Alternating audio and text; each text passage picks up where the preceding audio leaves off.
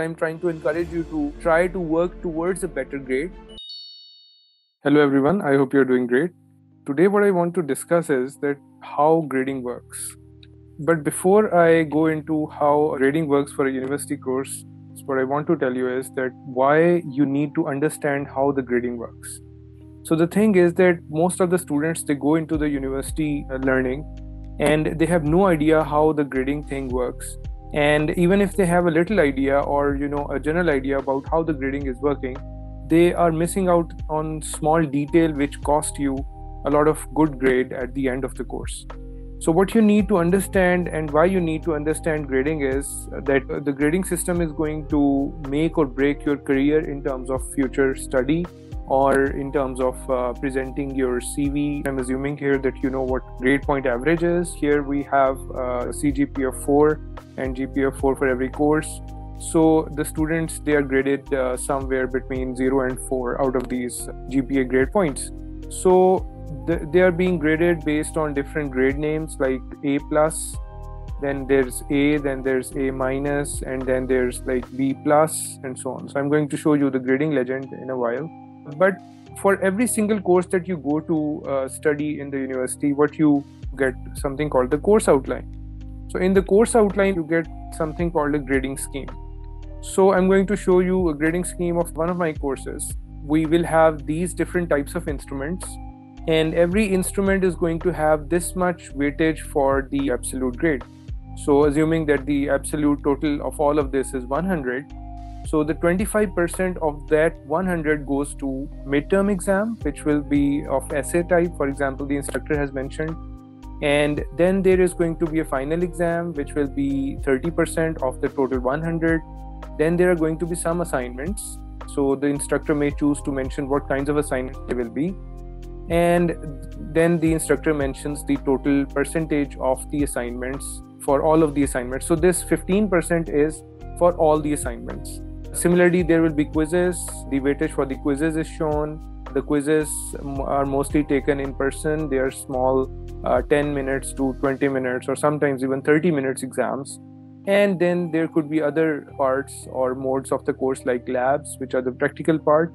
And the weightage is mentioned. And sometimes some instructors they choose to include your attendance or your class participation, uh, some weightage just to motivate you to attend the classes. So this is called the grading scheme. So once you have the grading scheme, you simply can perceive this uh, grading scheme as okay, so I'm going to see that uh, the final exam has a lot of weightage and the uh, midterm exam has a lot of part to play in your total grade. So I just need to focus on these two things and I can just be really relaxed on the assignments or the quizzes or the labs or even the attendance because they're having less part to play in your overall 100% of the grade. So the thing to notice, and I'm going to actually practically show you how the grade of a person can drop if they ignore even the smallest instrument of a course. The rule of the thumb is that you never, you know, skip or miss any instrument. And by instrument, I mean these things like the midterm exam, the final exam, assignments, quizzes, labs, and class participation, of course. So if you miss out on any of these things, you are sure to get a worse grade than many other people in the course who have never missed any of these instruments. The second thing is that you need to understand that what types of different parts there are in each of these instruments. Sometimes the midterm exam it is made up of multiple parts. Similarly, the final exam can be made up of different parts. And similarly, there will be uh, multiple assignments. So, for example, a professor had given you five assignments and one professor gave you only two assignments. So, what is the difference between both of these different schemes? So, the first scheme, in the first scheme, every assignment will carry three marks because the total 15 marks, three of the absolute marks will go to each of the assignments. But if a professor gave two assignments in the entire course, each of those assignments is going to carry 7.5 marks, right? So, what do you think is better or worse? So there's not a single answer to the question that which of these schemes is better. So if you have like five assignments or you have two assignments, the difference in these schemes is that when you have five assignments you will have to like be present a little bit more towards the course or you will have to like be there to submit and to download to read to attempt five different assignments instead of just going two times on the learning management system or moodle or anything similar to that and just going two times over there and downloading the assignments only two times and then uploading the assignments twice. Uh, the downside of this is that even though you are going to work less, each assignment is going to be really heavy. And uh, if you lose grade in one of the assignments, you are going to lose a lot of credit. But the benefit in this scheme is that even though you have to work a lot, you have to stay up more the number of assignments are distributed throughout the course in such a way that it will be easier for you to gain credit because each will have 3 marks and 3 marks are pretty less as compared to 7.5 so even if you lose credit in one of the assignments it is not going to hurt you as much as this second scheme. So this scheme is riskier and this scheme is uh, not as risky but uh, you know you will have to do a lot of work you will have to stay up more but you can be ensured that you can get a better grade as compared to this scheme. So there is much less surety in this scheme to get a good grade. And similar goes for quizzes and assignments. If you have less quizzes if you have more quizzes you're going to see the effect of uh, you know everything on your final grade. So now let me take you to grading of uh, one of my actual courses. So I've hidden the names and roll numbers of students. But here you can see that I have written lab 1, lab 2, lab 3, lab 4, lab 5, lab 6. And one thing I need to mention over here that the professor or the instructor is never interested in giving you harm or destroying your grade. So what we try to do is we try to benefit you for your hard work. We try to sometimes take the best out of these six. So if a person has like this kind of grading done for each and every single one of their labs. Like the first lab this person got uh, 16 marks. In this one they got 20 out of 20 then 20 20 and in these two that person got like zero marks. He didn't really show up. But here you can see that the final average for all of these is really high out of 10 why? Because what we have done is we've taken the best four out of these so we are ignoring these two zeros so this is a pretty gracious scheme i know but uh, sometimes you have to do it in uh, uh, courses which are considered to be slightly difficult as compared to other courses. So you see that even if you have lost two of the instruments or probably you performed so bad that you got a zero in that but it is not going to affect your final grade. So you have to uh, see that because there were more labs you have to be present for most of these labs in order to ensure your good grade. And by the way most of the instructors they don't really do this best thing. And if they don't do the best thing let me show you where the grade goes for this person. So now you see that the marks of this person they went to 6.3 previously the marks were 9.5 so the marks went from 9.5 to 6.3 so if the grading was not done uh, taking the best out of these labs the person would have gotten 6.3 marks so you see that uh, this way the student is going to benefit uh, from this scheme that probably they couldn't submit due to something or probably they got zero marks due to some other reason.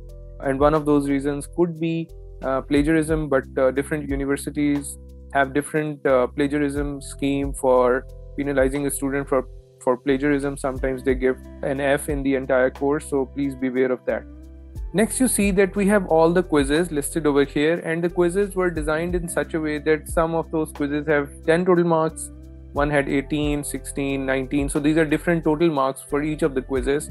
So what we have done is we have scaled each of these to 1 by dividing them uh, each of the students marks with the total marks and we get these different columns over here.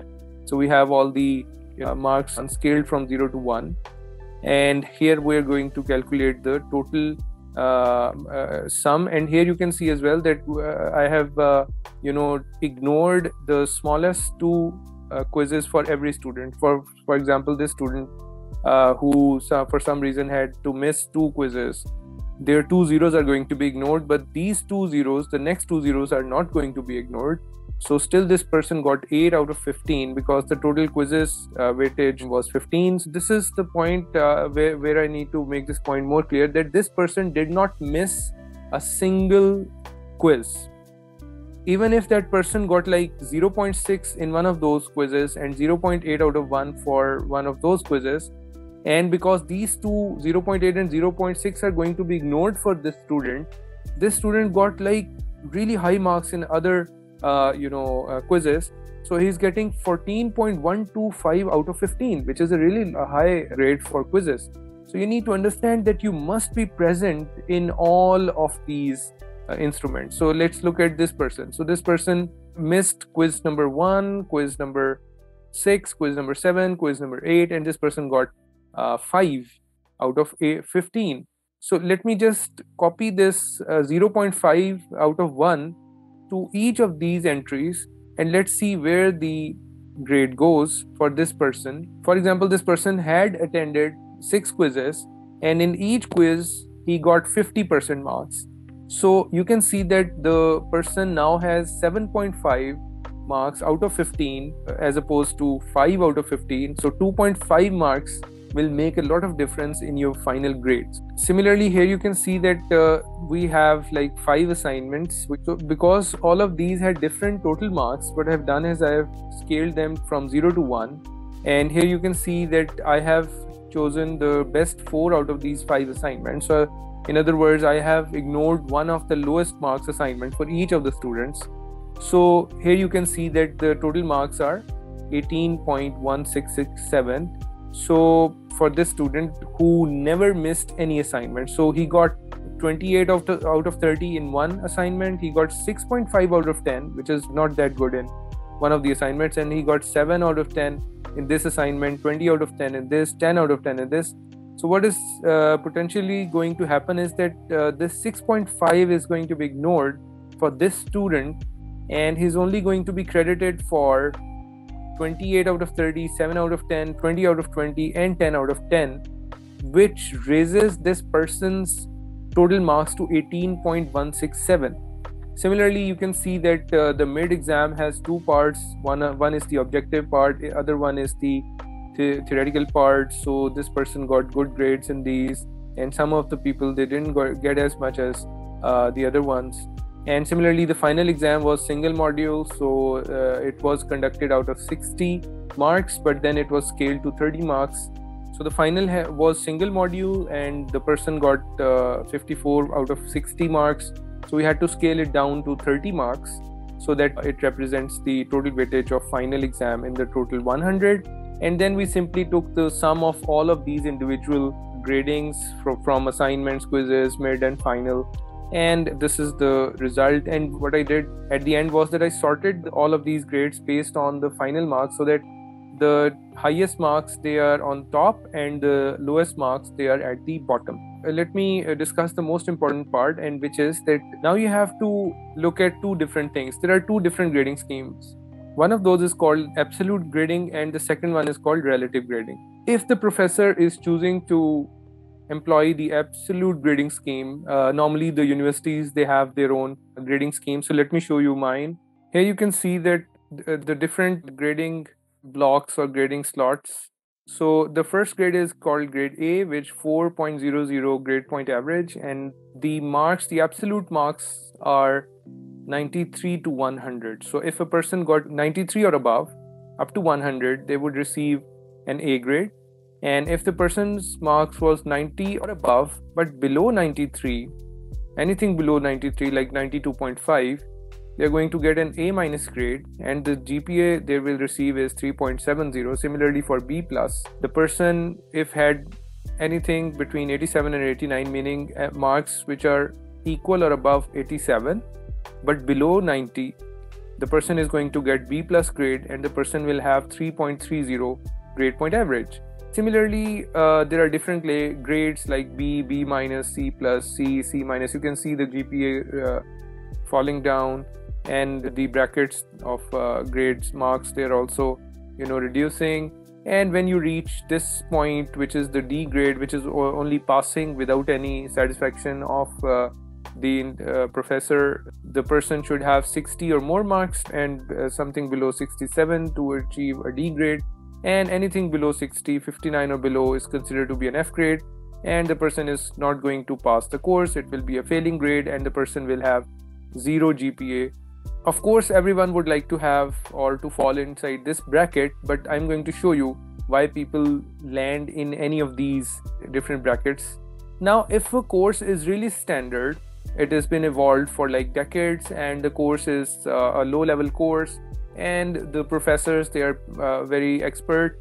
So sometimes the things they are evolved they have evolved into a situation where this absolute grading scheme can be employed. But in most cases in the modern education because the courses are evolving really fast and the courses are really becoming modern with time uh, it's really difficult to come up with a very standard course in which the students who have uh, worked hard and they are they were intelligent enough. Most of them should fall into this bracket of absolute marks.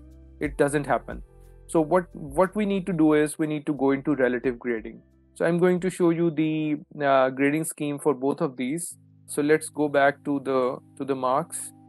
And here you can see that if I look at this particular grade, this is a very strange looking class where one of the students was so exceptional that they got 91 marks, which is still not in the bracket of A grade, which is uh, it is only inside the uh, bracket of A minus, and the rest of the class is between 31 and 78. And it's not strange uh, if you ask us from our experience uh, because I've been teaching in un- universities for a very long time.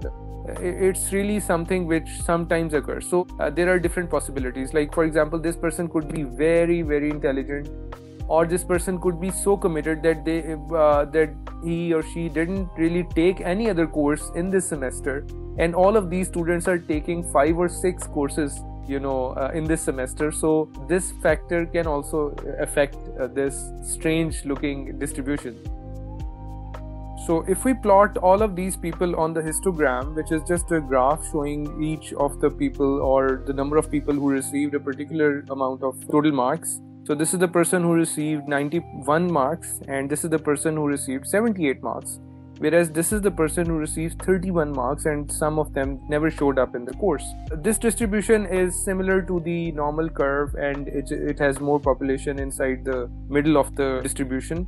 And here you can see that this person is what we sometimes call an outlier or an exceptional person. As I told you that uh, this person could have different properties as compared to the other rest of the students. As for example that uh, he he or she was only taking one course this semester while all of these people they were taking five or six courses. And the other thing is probably this person was much more intelligent as compared to other students or probably this person worked hard much much more as compared to other students so all of these possibilities are there. So we have to somehow consider this person a part of the distribution and then grade or probably we choose to consider this person not a part of the distribution and then we choose to grade on the basis of that. So let's look at the grading uh, scheme. So if i were to do the absolute grading what i would do is i would simply start from here and i would see that if the marks were above 93 i would give an a grade. But because these are between uh, 90 and 93 i would give an a minus grade right? And similarly if i see that this person in the absolute grading falls in this bracket between 77 and 79 this person would receive a c plus grade and so on. And uh, you can see right away that the class starts to fail miserably after this point. So this person will get a d grade and all of these people will receive an f grade. All of these students will receive an f grade. So let me show you this in the graph so here you can see if I had chosen to do absolute grading on this particular set of grades, this person would get an A minus grade and this person would get a C plus grade. And most of this class is actually failing the course. So the professor knows much better as compared to anyone else what is going on with the students how did they perform in the in the class so based on that the professor can choose to do a relative grading how a relative grading is done a relative grading is done based on the class average. The class average is something which is calculated using these formulas so here you can see that the average is being calculated using this formula. Average of az4 to az36 all of these will be the averages. And then there is something called a max and min. And then you can choose to calculate the standard deviation which is a measure to see how scattered is the distribution what is the scatter measure of the results of the students inside this uh, grading scheme which is 12 in this case which is pretty low as compared to other classes i have uh, seen the grades of. And the reason is that the distribution of most of the classes between 30 and 60 marks and only some of the cases they are deviating from the main distribution. So what i'm going to do is i'm going to show you a way some professors do the the relative grading so that is called using the z score how the z score works is that you actually take the marks of the person you subtract the class average from the marks of the student and you divide the sum with the standard deviation. So that will be the z score and the z score for this particular student is 3.0056 so what you need to do you need to make this absolute referencing for the average and the standard deviation. And then what you do is so you copy all of this to all of the students so that you can see the z scores for all of the students. So the class average is somewhere over here which is 53 which looking at the uh, highest marks can be considered a low uh, class average. And for this class average what what we do is we decide on a grade that what is the grade that we want to give to a person who is at the average of this class distribution. So that varies between c plus to b minus mostly chosen. So you can even go to like c or b but there are less chances. So seeing that the class average is low the grade which should be given on this average should be low so what we do is we give a c plus for example. So what i'm going to do is i'm going to look at the total distribution of all of these grades. So for example the z scores they start from minus 1.67 they go up to 3.0056 so i'm going to do a certain calculation and which is that what should be the bracket size for each of the z scores to get a grade. So i'm going to actually do this equal sign minus select this cell and add the so i get this measure which is the span of all the z scores so if you started uh, from this point and this point was the zero number line and you went up to this point you would have gone up to 4.68 on the number line. But th- this is the complete distribution of the student. So if you look at uh, the number of grades so you can count 1 2 3 4 5 6 7 8 9 10 so there are 10 different grades you can simply divide it this thing by a particular number. So for example if i even include the f grade in this discussion because f grade is another another grade the 11th grade and that is actually part of this distribution because there will be students who will receive an f grade uh, who should receive an f grade actually who didn't really work enough for this course. So we should be including that as well. So the total count of the grades uh, becomes 11 so i'm going to divide this number with 11 and i'm going to see what the result is. So, so the result is 0.4256 so this could be a bracket size for each of these grades to be present inside this z score. If i start from here i go up to 0.4 up to this point 0.4256 to be exact. So i'm going to stop over here and i'm going to give c plus to this last person. So all of these people now receive a c plus.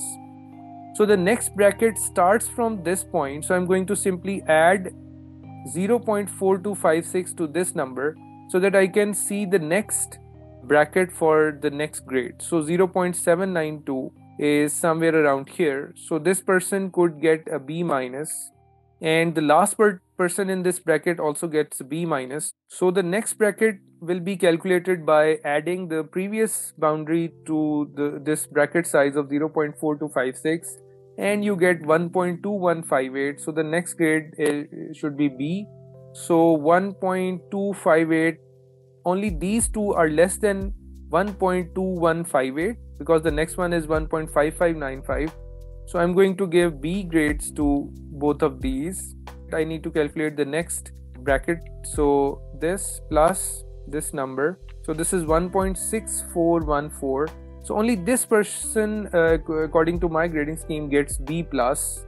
Uh, if I calculate the next grading uh, bracket, so I add this to to the fixed bracket size, which is 2.067. So the next boundary is 2.067 so that means this person can actually get an a minus grade. And we don't really need to calculate the next bracket because uh, this person has already fallen into the bracket of the next uh, grade which is a grade. So this person gets uh, an a grade.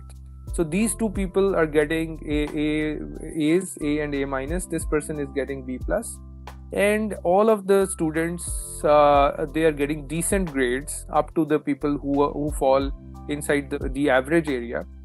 And then you go uh, uh, from this point towards the lower side. So i what i do is i simply see this boundary 0.4256 and 0 is the average point. So i'm going to go from 0 to minus 4 to 56 so this point is above minus 4 to 5 6 on the lower side. So this is the last grade.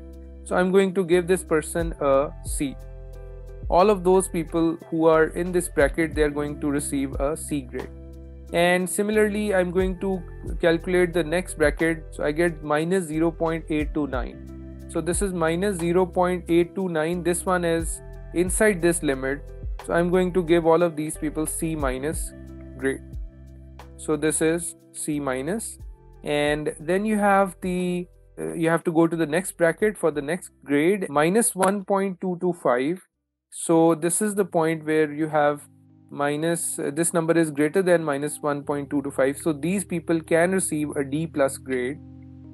And this last uh, these last people so one of these will uh, receive a d grade. So i'm going to simply uh, add uh, the same bracket to the previous boundary line. Same bracket size minus 1.681 so this uh, all of these numbers are less than minus 1.681 so i can allocate a d grade to these three students. But of course uh, the professor can go into the details of these students who have got less than 40 marks for example and see whether uh, they have like they have missed too many uh, instruments or probably they have performed so poor that the professor decides to uh, give them an f grade based on their performance. But according to this strict z score grading these people they actually get passed. And they get some of them get d grade some of them they get d plus grade c minus c c plus and uh, other uh, grades. So this is really exceptional kind of uh, distribution where some of the grades were really really outliers and uh, most of the distribution of the class were was towards the lower side. And i have shown you this just to emphasize on the fact that there is still a chance for the instructor or the professor to give decent grades to students who have tried to uh, work towards the final grade as compared to this absolute scheme which will actually fail everyone what I'm trying to do by telling you all of this, there are two parts to that. The first one is that I'm trying to encourage you to try to work towards a better grade.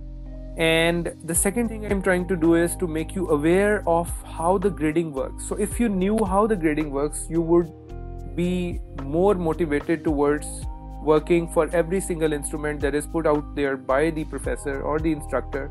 And if you feel like the professor is really pushing everyone too hard, you don't need to be worried because if everyone is being pushed the same way you are going to be part of that herd. And if the students they don't perform well they will still get decent grades. Just like in this particular example if the professor is using the uh, the relative uh, grading scheme which in my experience most of the instructors they do that. And uh, no no instructor is really interested in uh, you know penalizing the students too much unless uh, the the instructor uh, you know see, uh, finds or catches plagiarism uh, which is something very serious.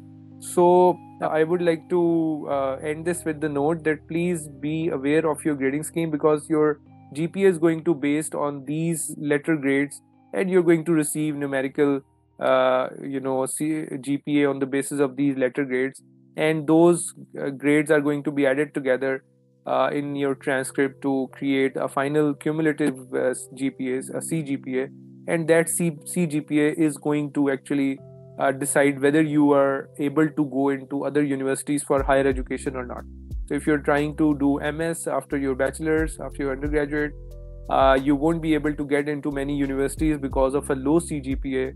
And uh, if you have a good CGPA, the chances that you get admission in most universities they go high and it's uh, really probable that you get an admission and which is of course a desire of many students after they graduate from a university.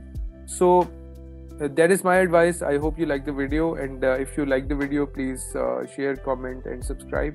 And i hope to try to make new videos which are based on awareness uh, and they give you some insight about how the universities they work and they work towards giving you your fair amount of uh, credit for the work that you have done. See you